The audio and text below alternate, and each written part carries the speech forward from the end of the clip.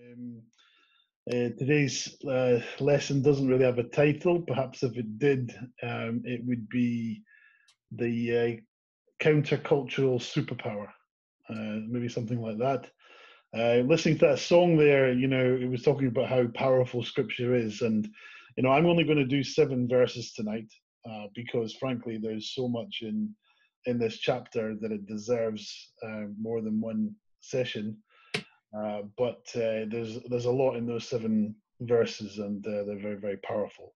And tonight it's uh, quite interactive, so there's going to be some questions. So um, uh, do you know there's do feel free to speak and to to to say what you think, to shout out, to to use the message thing maybe on what you think. But there's going to be some questions to answer, so no one's allowed to sleep.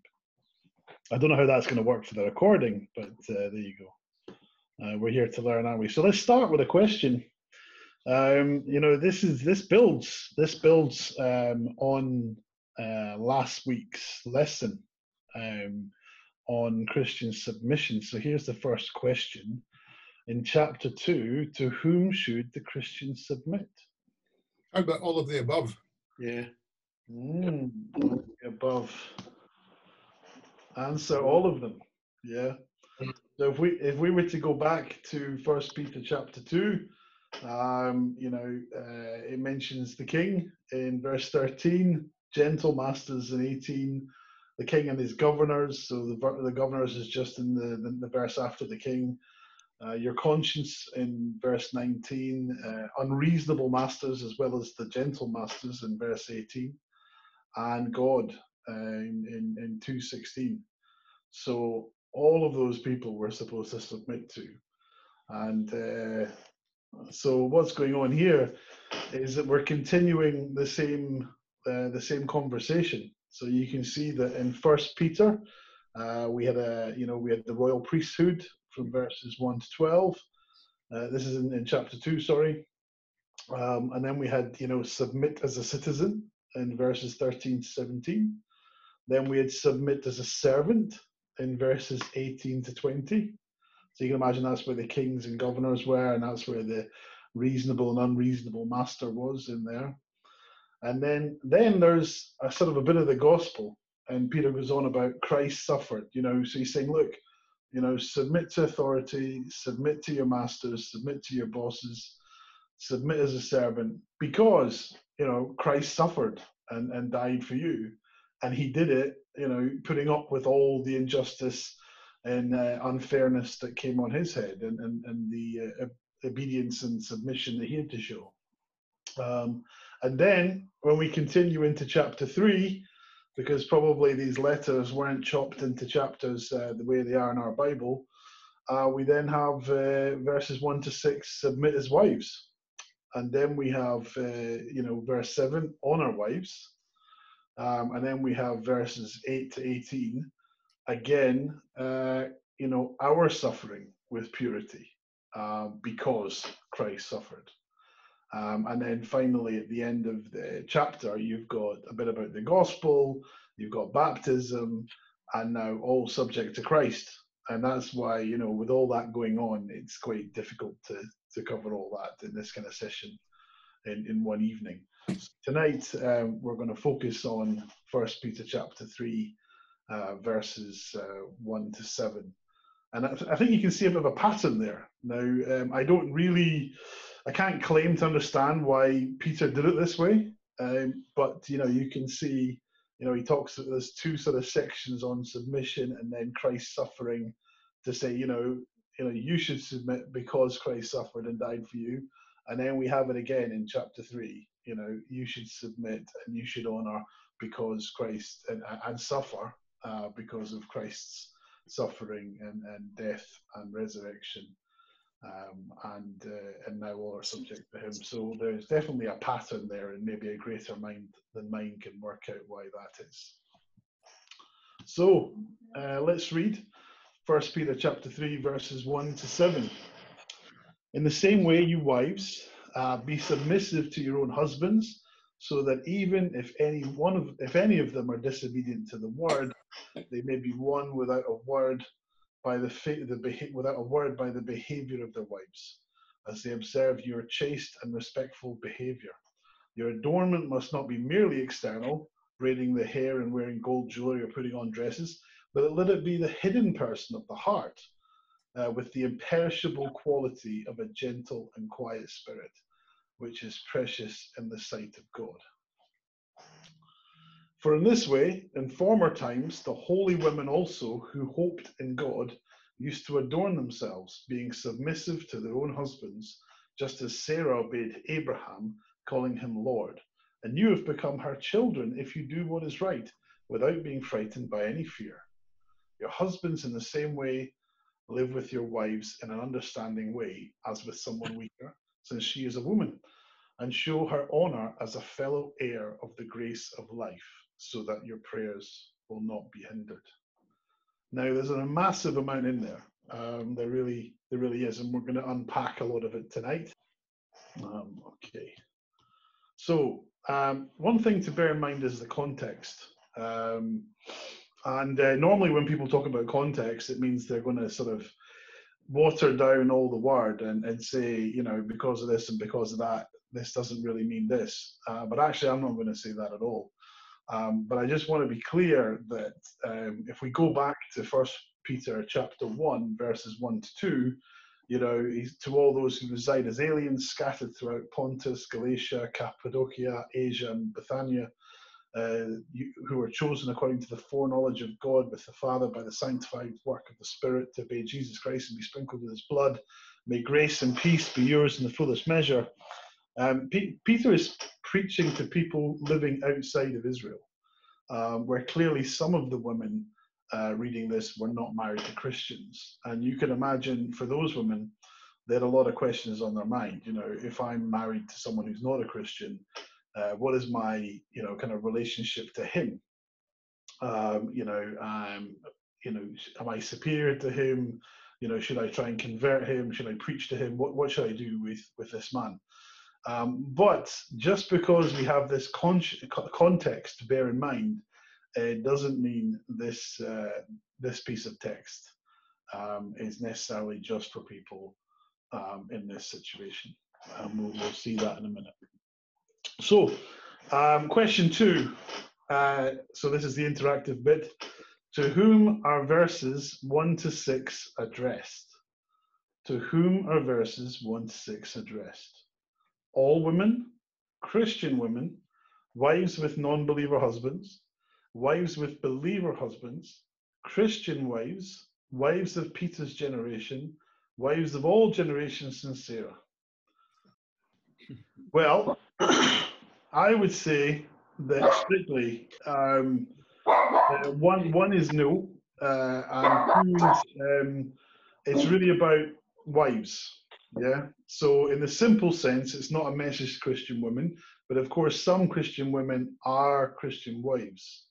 So I would say it's question the the, the best answer is uh, number seven, wives of all generations since Sarah and um, but logically that includes three, four, five, and six. Yeah. Uh, and we saw clearly wives with non-believer husbands. So saying if some of them, uh, we go back to the text, um, da, da, da, you know, your own husbands, so that even if any of them are disobedient to the word, disobedient to the word meaning not aligned, not submitted to Christ, so, in other words, if any of them means that some of them uh, will be obedient to the word. So, we're talking about both uh, wives with non believing husbands and believing husbands. Um, and then uh, the interesting bit is that, of course, a lot of people will say, yeah, but you know, this this was for Peter's generation. You know, this was um, something that's you know related to his culture. Um, the problem then is is when you go uh, into the the second part. So from verse five, for in this way, in former times, the holy women also who hoped in God used to adorn themselves, being submissive to their own husbands, just as Sarah obeyed Abraham, calling him Lord. And you have become her children if you do what is right, without being frightened by any fear. By by Peter sort of saying to his generation of wives, You know, look at what Sarah did. You know, and how she and, and women, um, uh, the holy women of of of previous generations, how they, um, you know, uh, honored their husbands and how they behaved. Um, you know, you should be copying them. So you can imagine that although to us Peter's time is two thousand years ago, um, it seems you know a long time ago in a very different world.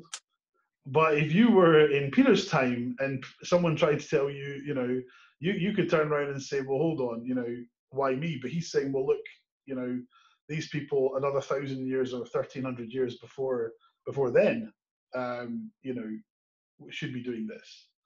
So if if it was right thirteen hundred years before when this was written, um, it's right for us today because Peter's making a point that this is something that doesn't stop. You know, it continues from all that time over a thousand years between Sarah and Christ. Yeah.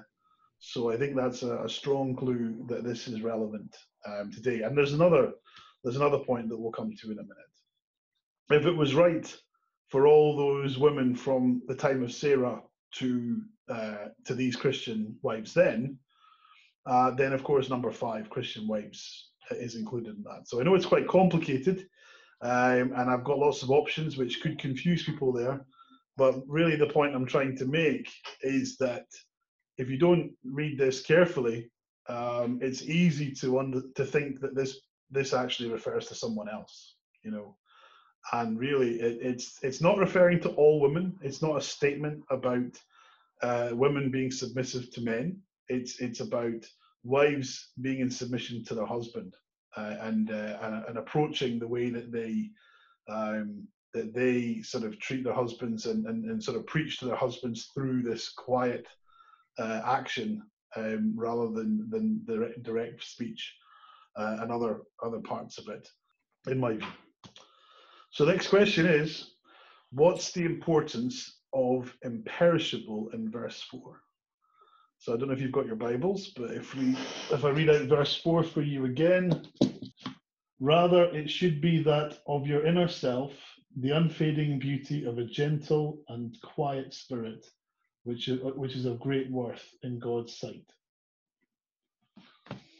Actually, that's the that's the NIV, but uh, we go back to here. Verse 4 But let it be the hidden person of the heart with the imperishable quality of a gentle and quiet spirit, which is precious in the sight of God. So the question is, what's the importance of the word imperishable? I, I, I think there's different ways to take this, but the way I take this is that it's saying that this is something that is. Um, let me just go back to the uh, to the text. Um, so your adornment must not be merely external, braiding of the hair and wearing gold jewelry or putting on dresses, but let it be the hidden person of the heart with the imperishable quality of gentle and quiet spirit, which is precious in the sight of God. I mean, we can look at it um, in terms of that it, it, doesn't go down with age, say, so it doesn't fade, and that it um, uh, you know that you know as a woman's beauty may potentially uh, diminish with age that um, this internal beauty um, is uh, stays the same um, but i actually think um, there's another meaning here as well and that is that it's permanent you know it's uh, the the gentleness and the quiet spirit is something that's persistently beautiful to god and precious to god right? Um, it's like an eternal thing of beauty, you know, this gentle and quiet spirit. So I, I think there's, uh, you know, two ways to look at that. So here's here's a tricky one. Here's a super tricky question. Does God allow wives to wear adornments? I'll just go to the answer because, well, it's very complicated. Um, but I think the answer is yes. And um, the reason it's complicated is because if we look strictly just at First Peter three, it depends which translation you're reading. Yeah. So in the NIV, your beauty should not come from outward adornment, such as elaborate hairstyles and wearing of gold jewelry or fine clothes. That doesn't forbid adornment. Um, Uh, but the ESV, do not let your adorning be external, the braiding of hair and the and the putting on of gold jewelry or the cloth or the clothing you wear. But uh, so in some some translations, um, you know, basically it's quite against you know the way it's been translated is quite against adornment. Um, in NASB, uh, your adornment must not be merely external, uh, braiding the hair and wearing gold jewelry or putting on dresses. So in the NASB, the merely has been added, yeah, as an interpretation to say that you know you can be both internally and extor- externally adorned, right? But that's not there in the ESV version, and in the NIV is pretty pretty passive on it and, and isn't so bad. So um, depending on which kind of uh, translation you you read, you can get different views on whether or not uh, you know you should be adorned. Um, uh, you know, on externally with jewelry and uh, because the hair braiding apparently I've read somewhere in, in my research that uh, women of the time were importing uh, um, um, uh, what do you call them? Uh, wigs, yeah, which is I know close to uh, the church's heart, um, wigs from Egypt, and uh, and so this hair braiding actually, although you can read it as uh, the women braiding their hair, um, apparently, according to some sources, um, people were kind of buying braided wigs um, from Egypt, uh, maybe because they were you know shaving themselves there or something. I don't know and sort of wearing them as uh, you know uh, beautiful things. Now, um, so what's the so you know we, we've got these different scriptures sort of saying you know slightly conflicting, different translations slightly conflicting here. So the question is, well, which way should we look at this? Um, you know, do not let your adorning be external. You know. Um, but when we look at adornment a bit wider, we can see that actually adornment can be an act of giving. And uh, and that's pretty nice. So if we look at Ezekiel chapter 16, uh, verse 6 to 14, uh, verse 11. So the whole the, the area of 6 to 14 is really God talking about uh, Israel um, as a wife, and uh, it says, "I adorned you with ornaments, put bracelets on your hands and your neck, uh, on your neck, and a necklace around your neck." I also put a ring on your nostril, earrings in your ears, and a beautiful crown on your head. Um, you know, so in other words, you know, Christ, uh, sorry, Christ, uh, God, uh, you know, was adorned Israel with beautiful things, figuratively. And of course, you know, a few verses later, it goes on to talk about how even though God put uh, Israel in a beautiful dress and, uh, you know, wiped away, you know, the, the, sort of bloody mess he found on her when he found her, um, you know, like she'd been in some accident, um, but he, he kind of, you know, cleaned her up, gave her a beautiful dress, gave her beautiful uh, ear, uh, jewelry and uh, all this kind of stuff. And then, you know, basically she, you know, quick, quite quickly goes off with someone else, you know, and that's that's the kind of message there. Um, and then in Jeremiah two, chapter uh, chapter two, verse thirty-two, can of made forgive forget her ornaments, or or a bride her attire yet my people have forgotten me without uh, days without number. So, um, you know, God's saying here, well, you know, a maid's going to look beautiful, a bride's going to have all her bits to look uh, perfect for her wedding, um, and yet my people, you know, don't seem to remember their God. Um, and for some time, you know, we can't even count how many days it's been since they remembered me. So God, you know, there's a couple of examples where God is uh, sees adornment as a beautiful thing. But if you if you look at you know the example in Ezekiel, God is giving adornment to uh, his bride um, as an act of love and affection. And in the Jeremiah case here, you know, you've got the the maid with the adornment and the bride with her attire, you know, sort of giving, you know, wanting to look good um, for her husband or for her suitor or for her um, her groom. Yeah, there's a kind of giving. It's not about personal um, pride here. It's about looking beautiful um, for the other party. So there's uh, adornment can be part of a, a gift uh, that we uh, you know, that we're giving to someone else, either through a, you know a gift to, to get for them to wear or, or to be beautiful for them to behold. Um, so we can see that adornment is not not um, at least uh, not in the scripture I found um, against God's will. But we do have to be careful a little bit on the translations there um, because uh, depending on what you read, it can be a bit confusing. So if a wife's actual beauty does not come from her adornment, uh, where does it come from? Um, number one, chaste and respectful behavior. Number two, the hidden part person of the heart. Number three, her lineage. Number four, a gentle and quiet spirit. So numbers one, two, and four. Yeah. Rather, it should be from your inner self, the unfading beauty of a gentle and quiet heart. Um, and uh, the chaste and respectful behavior is actually um, further up in, in verse 2, I think it is. Yeah.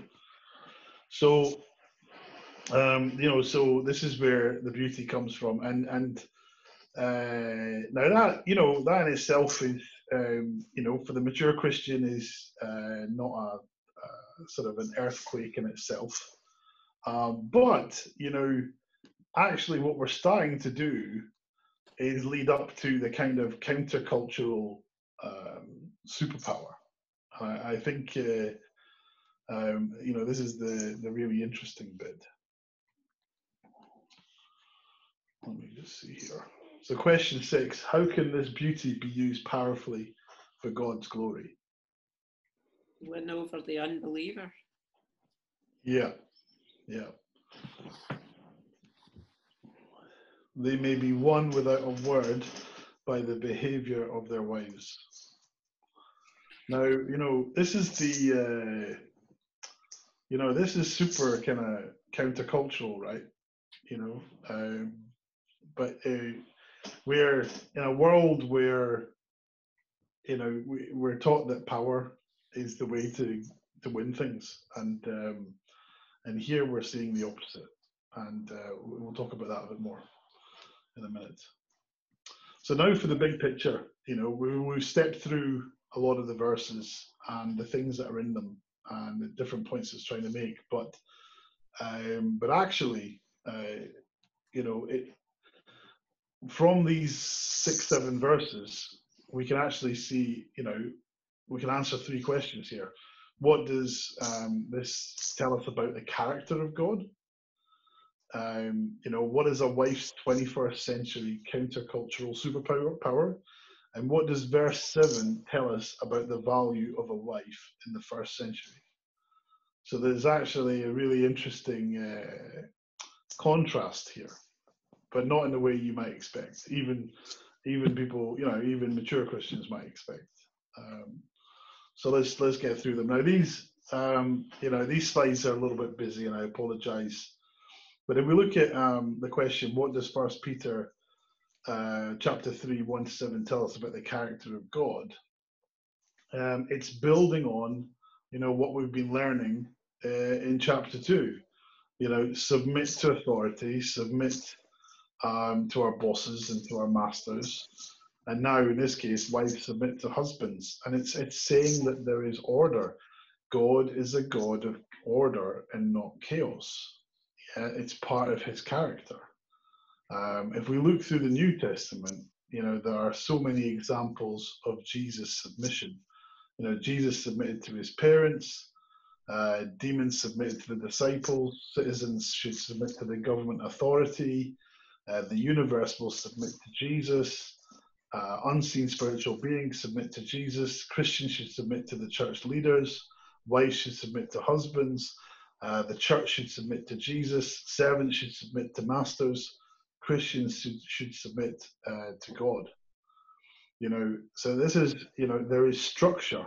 Um, there, there's structure in the in the universe because if you think back even in the days of Genesis, at the very beginning of of the Bible, um, you know, God created uh, the universe in a structured way step by step, creating beauty and organization from chaos. You know, you know, he was passing over the waters. You know, the Spirit of God passed over the waters, and it was unformed. Um, and he, you know, he said, "Let there be light," and there was light, and there was dark, and and uh, and there was the first day, and all that sort of stuff. So, you know, God, part of his character is that, you know, God God loves order, yeah, and and uh, and and he wants he wants us to see and and, and understand the different uh, relationships that are, you know, the relate the relationship between believer and church, uh, the, the, the relationship between church and Christ, between Christ and the Father, between wives and husbands, between children and parents, between servants and masters. There's a relationship to say that you are inside a structure ordained by God, which is there to give glory to God and for your benefit. So you know, in the um, in the Old Testament, we had the, we saw the example in Ezekiel of structure where God, you know, effectively, you know, had Israel as his bride, saying, you know, I took you, I I rescued you, I cleaned you up, I adorned you, I married you, and then you turned and ran away from me, you know. Um, and then in the New Testament, we have the example of the church being the bride of Christ and us together being presented as beautiful um, and it is fitting to be married into into uh, Christ, um, and how we as a church uh, need to be prepared and ready um, to take our place and to have our role alongside Christ our Lord. Um, you know, it's about structure, and uh, you know we've got example after example after example um, of structure, uh, and it's uh, and it helps us when we see structure in the family from you know parents from children to parents from wives to husbands um, from believer to church from church to christ from christ to father uh, we can we can understand the the relationship and the order um, that we should be giving to each other um, uh, you know um, you know to honor god but the, the interesting thing is there's this superpower you know because um, uh, you know, let me go to the next one. Um, if you think about what Peter's saying here, is that by being quiet and gentle and, and chaste and pure, a wife can actually, you know, bring a husband round to Christ. Now that doesn't mean that the wife might not tell the the husband something about the gospel, but what he's saying here is, look, um, if you go and preach, you know, constantly preach to your husband, your non-believing husband, uh, it's not going to work. You know, you know that's not kind of how this is going to work. You know, you um, what you have to do is submit in faith to real power and real freedom. Um, if we go back, you know, it was saying, look, when Sarah submitted to Abraham and called him Lord, you know, um, she had a sort of freedom and you know and and the women and peter said to the women to the wives of that day you know follow her example be her daughter trust in god use faith use faith as your superpower to convert your husbands. To submit and to win over the uh, through quiet and gentle spirit is countercultural in a society which tells women that freedom is won through power. Yeah so today we have this uh, kind of, if you want to have a voice, if you want to achieve things, you have to be loud and you have to, you have to use power. And and this is saying no.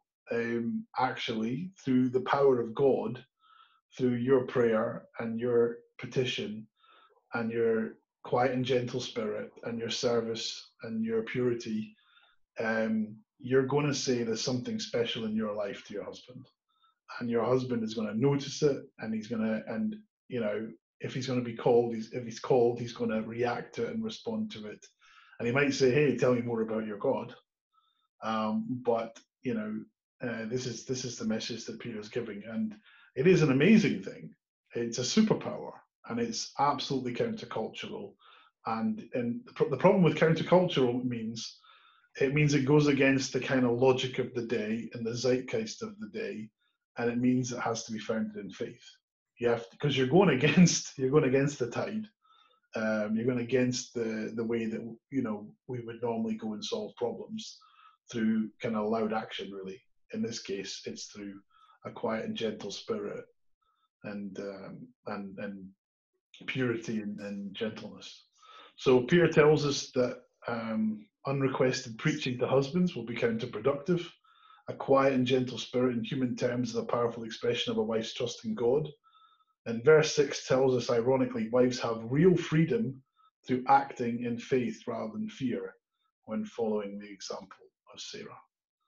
I know this is really challenging stuff um, because obviously it's countercultural, um, and uh, the best meaning, you know, the most, the I'm sure the a very very well-meaning Christian wife will want to preach to her husband, and uh, but it's about finding the right way to do that, and and that that takes me to my next point about equality. But you know, submission doesn't mean you don't have a voice. I think in this case, though, um, what Peter's saying is that you know preaching to your husbands uh, and changing them wasn't going to wasn't was going to actually be counterproductive. Uh, it doesn't mean that you don't have a role in, in the family, in the household, and in the marriage, in the relationship. You know, um, I think you know a, a, marriage would be a pretty uh, dead place if it was a one-way conversation.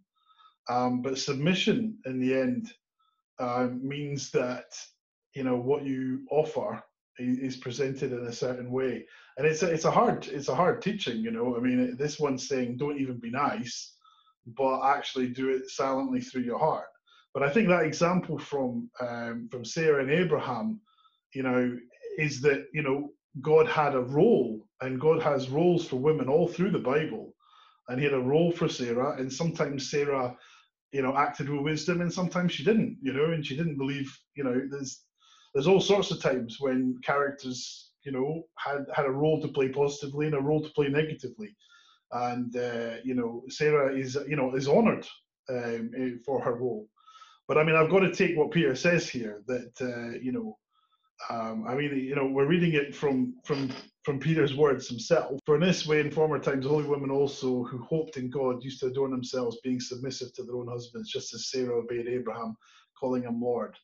I mean, you know, we see how you know he called she called him Lord. It doesn't mean that she never said anything in the house or never talked to him or probably never even argued with him, but uh, um, but how she argued and and with the respect that she used, um, I can only imagine when she's called out as the grand example to give to all these wives across the region, that it must have been um, you know pretty respectful. So the, the the husband needs to see something special in you and then inquire about it, and then you can share with them your faith.